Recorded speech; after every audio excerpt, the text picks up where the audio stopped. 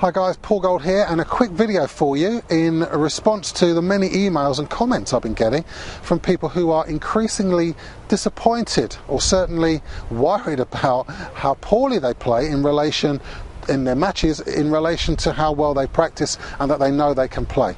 So, what I did yesterday was I played uh, a practice set um, and I'd stuck a camera up in the corner. And this isn't one of those things where I've doctored um, videos to show points that I've seen other other people set up, and that's fine when you're trying to illustrate something. But this is a real live match, real live points. Now I've edited some of it out, obviously, because I don't want you to be sitting through 25 minutes uh, of this set with me picking balls up and just walking backwards and forwards. But the main thing to think about first off is that many people don't utilise the initial period, the knock up even, in their matches to get themselves off to a good start. And you'll see in this video I'm explaining the kind of things you should be doing and the kind of things I do when I'm playing matches.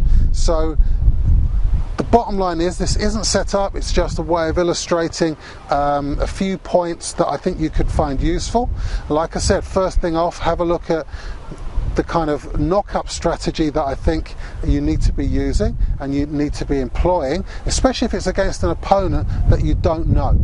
So with that said, enjoy the video. Please leave me a comment below because I need to know whether you like this this kind of stuff or whether I need to be going off in a different direction with it. There's loads more of it to come, but initially I just thought it'd be useful to see um, some stuff of me playing to see how I do it not that I know everything, but certainly there are some some strategies that I use that I know certainly work well because they're common practice to, to players that play matches on a regular basis and that are pretty successful in that translation of practice form to match form. Like I say, hope you enjoy it and please leave me a comment. So, just starting up, um, it's just knocking up just feeding the ball. And what I'm trying to do here is just get a good long swing through the ball. I'm actually not too worried about length. I'm just trying to keep smooth and hitting through the ball and, and staying light on my feet. That's the thing. I'm trying to get my feet moving straight away and being nice and light and and just trying to kind of get a, a, a swing going. That's the main thing. How how I can get my follow through right the way through the ball. I, even there, I don't mind drive volleying the ball. You know, it's it's just really to get a feel on the ball. And look, you can see my feet are moving pretty well now. Obviously, I've got um, I've got something coming out on footwork because I think it's that important pretty soon, next couple of weeks. But um, just trying to hit through the ball, nice net clearance. That's my main thing. Net clearance, just to keep the ball in play there I was just coming in to just make a little volley.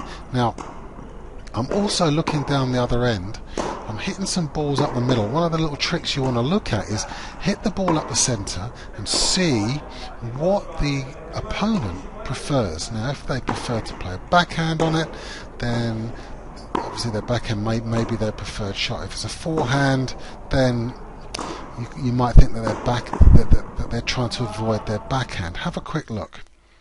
Now with some of these, I'm just trying to think what I did now. I remember going slightly round here and I'm trying to just get a feel on my forehand. Um, the opponent's at the net now, but I, you can see I've just set myself up slightly to the left on a couple of those just to to give myself a go on the forehand, but I'm just trying to keep the ball in play and make, making sure I make him play as many volleys as I can because I want to see can he volley. And I'm actually noticing he's, he's knocking a few out there. So I'm now putting a few up. As I say, this is a, just a real brief version. I'm now putting a few balls up for him to smash, but I've already noted that if I can keep the ball in play, he's not making every volley. He's not rifling every volley. So now let's have a look at his smash. So he's smashing.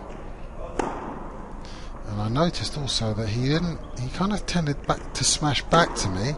So it meant I could put a few balls up for him to, to just keep smashing. He didn't keep knocking them away. So I'm making a note of those. Now we're on to return. Now these are just warm-up returns. I'm being quite aggressive on these and I'm almost giving him the, the feeling that you know, I'm ready to play even in the knockup. Whereas some people I feel waste the knock up. You know, they they've got a ball coming in. They're a bit sloppy with the footwork. There, I look like I'm ready. Chip back, neutralise that one. Nice solid backhand here and really cracking through inside out there on that forehand. And I'm fist pumping a little bit just just to kind of mentally show him, oh, you know, I'm, I'm ready to go know, straight away he's got the signals that, that I'm ready to play. So me warming up some serves, and what am I trying to do here? Again, looking at his preferred returns. I'm just making a nice backhand volley there, and again, I'm not trying to finish the point so much there. I'm just trying to get a good solid hit on the first volley.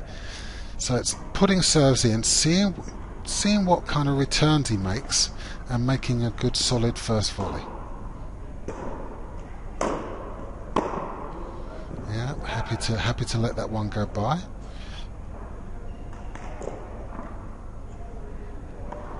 But reaching up, just the same as the ground structure, I'm trying to get a nice full, um, nice full swing with the serves.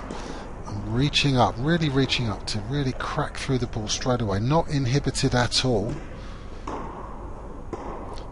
Kicking that one in a little bit, and there's a nice little volley into the corner there. And again, a little fist pump just to show him that you know, I'm ready to go. I'm, you know, I'm, I'm vibed up, and it's only the knock up, so he might start getting worried.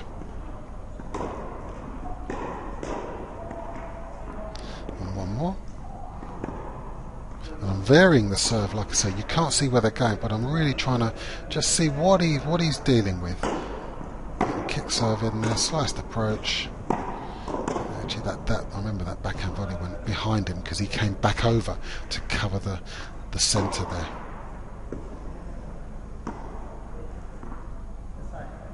That's pretty important, you know, obviously I'm changing sides here now, but it's pretty important, as well as getting your game together, it's pretty important to actually start taking clues about what serves they can deal with and what they, you know, are struggling with.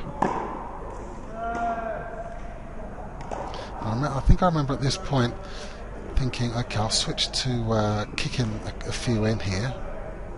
So I'm kicking a few in here, and he's hit that one in the net. So I thought, mm, okay, let's see again. Let me just kick another one in.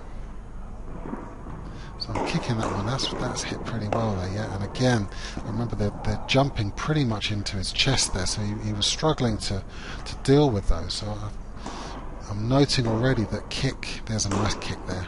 Yeah, and he's hit that one long. So um, I've already noted he's struggling dealing with my kicker. So here we go. Yeah, we're actually playing some points now. Yeah, showing in the balls, and we're into playing points. And what have we got here? Now, yeah, well, I'm probably letting you know, just in case you ever play me, I always tend to go big down the centre on that first serve, and, and, and that dealt, and that dealt out um, out. And that got me the free point there. That was a close one. I think he called that one out. I've gone up the centre again, heavy, flat down the middle.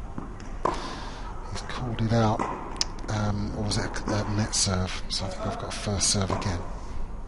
But always going for a few cheap points early on. That was gone wide.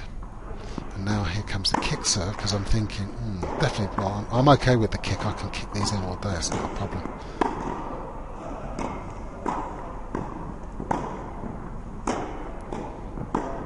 I remember that. Yeah, I hit a great forehand into the corner there. He mishit. He went for the backhand, mishit it, and it dropped really short angled. So.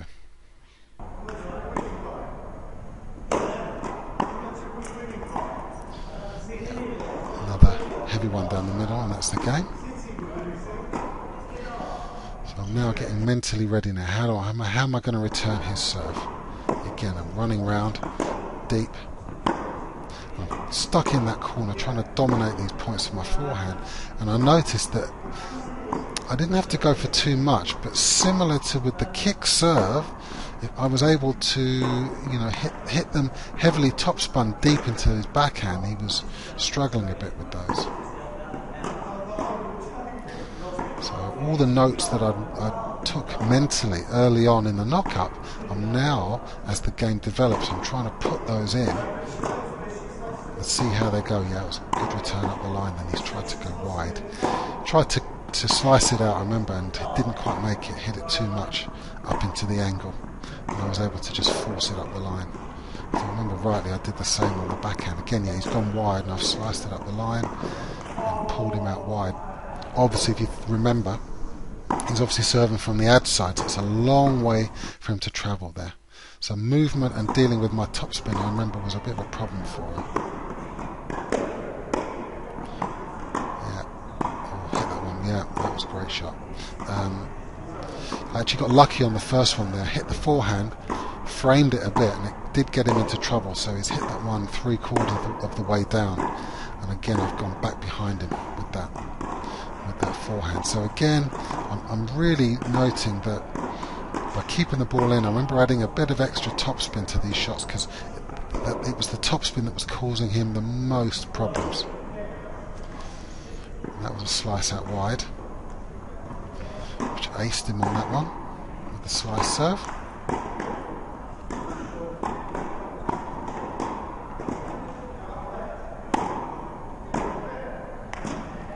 again, I'm trying to play, and it's a practice set. It's a, it's a team practice night and a practice set, but I'm trying to take it as seriously as I can. And you can see again, I've gone kicker there. He can't deal with that, so it just means I can just angle that one off into the into the corner. So, um, takeaway point there is I know he's struggling to deal with the kicker, so I'm I'm I'm giving him a lot of a lot of kick serves. I'm I'm hitting them heavy because I can do that. I can hit them hard. I'm not holding back, but I can kick them in. And again, an easy put away volley there because he just can't keep the ball down. He, he's either hitting them out long or um, they're floaters for me. So I'm, I'm, just taking a bit of pace off, which helps my first serve percentage. Now, obviously, I'm hitting a high percentage of first serves because I'm hitting topspin serves here. Not going for too many flat ones. Kick up the middle. Oh, yeah, inside out. Quite like that one. Inside out. Just leant back, a bit Rafa-like, inside out and into the corner. Alright, back onto some more returns then. And here I remember trying to really work my feet quickly here on these returns. Little shuffles, good serve, neutralise. Oh, I've, I've, just sneaked in behind that one. Oh, he's gone past me. Trying to keep active on the volley. Oh, tried to pass me again. I've dug it up. Yeah, put away. Again, because the footwork, it was the footwork from the from the service return that really set me up on that one because my feet were firing, so the rest of the point was played with really quick feet. Backhand return, oh, backhand the line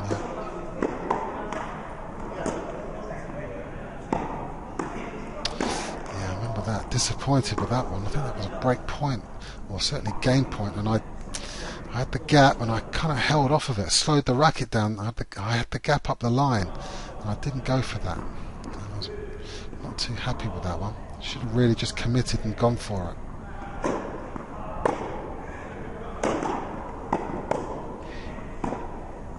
Yeah, but that was good because I remember that one. Heavy serve and he's really, he hasn't hit a great return. He thinks I'm going in the corner so I've just dropped it. Yeah, inside. Yeah, and again. Again, the inside out with a bit of extra topspin. It's it's deep in the corner and kicking away, struggling to to retrieve those. And again, just mentally focusing. Waiting. When I turn around, I'm ready to go. I don't want to be standing there waiting for him while he's getting ready to serve. If anything, I want him waiting for me while I just get myself ready. Nice return, yeah. Again, he's tried to go out wide, and I've, I've, i remember reading that one. good solid return, backhand return up the line. Same again. Again, oh yeah, he's got he's got me there wider, and I've just kept the ball in. But again, heavily top spun whipped. You can't really see the angle there, but I remember getting some good angles on that one. He's just unable to keep the ball in. Another good backhand return. Yeah, I remember him trying to. I've hit a couple of good backhand returns there, and I remember him thinking he's got to go even wider. He didn't seem too confident to hit the ball up the middle onto my forehand because I've, I've kind of had some power on the forehand there. He's gone to my backhand, not been able to um, hurt me too much. Again, every time I've gone backhand, yeah, backhand up the line, and he's got him to run around or run onto his forehand. He's not been able to control them. But again, good footwork on the return. Oh, yeah, that was it. I remember that. That was smack again down the line as he's unable. I've kind of read and moved out. It's one of the things I, I knew he was going to go out wide, and I've edged out there to make that shot, and he was unable to just go up the middle. Last couple, I think this was match point actually. Drop shot. Has he got it? Yeah, dictating that one. Yeah, drop shot too good. And that's another one. I mean, um, I know he, he, was beginning to kind of want to get a nice rhythm going, but I've drop shotted off the return. Another point. I remember this running point. Look. Oh yeah, running buggy whip up the line for match point. And at that point, that was it. Yeah. He said, uh, "Thank you very much. That'll do." Six-one set. So I mean, I, I I played pretty well there, I remember. But the takeaway for you guys is don't wait till you're three games into the set before you start settling into what you're doing and actually worrying about or even beginning to think about what your opponent's doing. You can do it from the knock up. When you're in the knock up, you, you don't need to keep the ball in play. What you need to be doing is finding your rhythm, and you do that by just hitting the ball, hit through the ball, even if you only begin to find one or two shots, it's better than being inhibited and going into the game unable to hit to find your rhythm. Look at what shots they make, look at what shots they play well, make some mental notes. If you need to write them down, write them down. But then when you go into the match, actually use the information. Um, if you'd like any more of this stuff, if you'd like it in a more detailed format, then please drop me a line. Leave me a comment underneath the uh, underneath this video at the bottom of the post, and I'm I'm happy to do that for you because it really is one of the keys to to kind of hitting the ground running in these matches. So that you can actually get yourself up in the first set, which often can mean you win the first set and statistically, the person who wins the first set is more likely to win the second. So, hope you got something out of that, guys. Let me know what you thought. Leave me a comment below, and I'll speak to you soon. Take care.